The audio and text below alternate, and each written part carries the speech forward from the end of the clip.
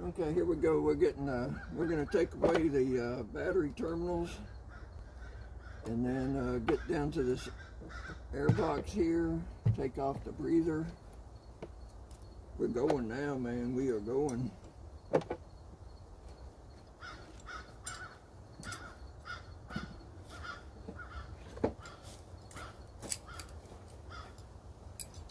Stuff is coming apart on this here truck. It's a little tight in here though. Okay. Good enough. Good enough.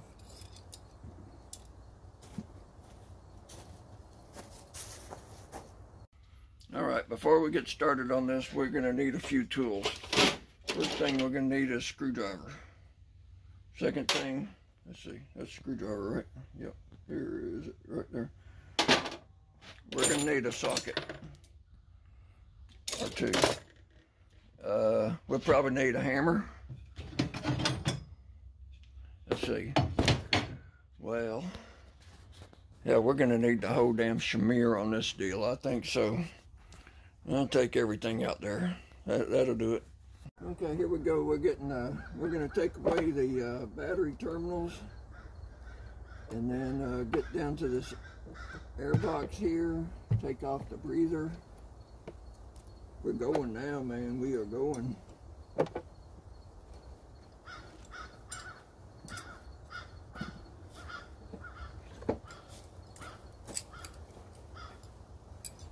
Stuff is coming apart on this here truck. It's a little tight in here though. Okay.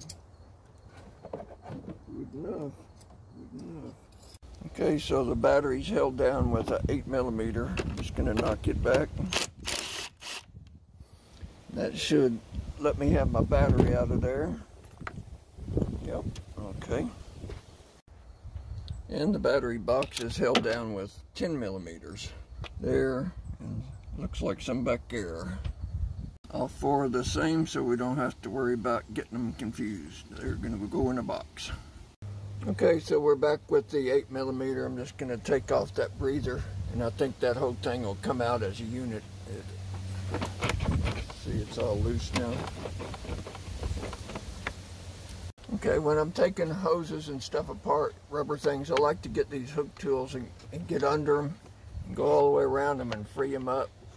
It just comes off a lot easier. You don't have to worry about much, especially on radiator hoses. Got one wire connector back here on the air. I think that's for air temperature. I'm not sure exactly. You mash down right there and it frees it up. Okay, so that's freeing up a lot more room. Looks like that air tube is next. Take it out. Uh, looks like a deep well 7 16 works good on there. It's probably actually a metric, but 7 16 fits good to me. And with the air pipe out now, I will take off that wiring harness right here. Okay, and that came apart with a uh, 10 millimeter. And the little uh, push button thing here to release it from the bracket. Okay, so I'm gonna remove this green vacuum line here. I'll have to get a tool on it, see how it unplugs.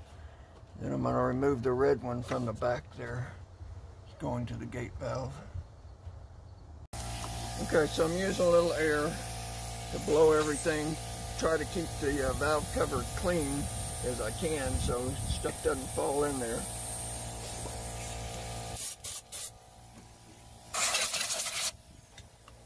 Get the picture. Okay, uh, you know, a couple little things here. I like using extensions longer than I need most of the time.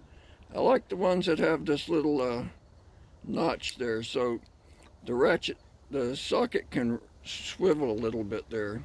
It can really get you out of binds. And I like to use these little thumb drives whenever you get a chance. Just makes things easier. And magnet to help with your fingers. I just, I don't think you can see it, but I I dropped the, the nut right down there. I'm just gonna pick it back up. Makes it a breeze when you got the magnet. Okay, and then using my uh, uh, 8 millimeter again, I'm going to take that clamp off back there at the turbo. Okay, with uh, the hose clamp removed, right there, I scooted it up a different shape of hook tool. It's hard to look through that camera and do it, but I'm going to put that hook tool underneath it and ream it around it to free it up, make it easy. Okay, so that's all I plan to do today. Uh, probably spent too much time doing this, but I imagine I was here two hours on it, maybe hour and a half, two hours to get this hole opened up here. And I'm down to my valve cover. Now, tomorrow, I'll work on getting the other, getting down to the other valve cover before I start pulling the valve covers and get them both ready.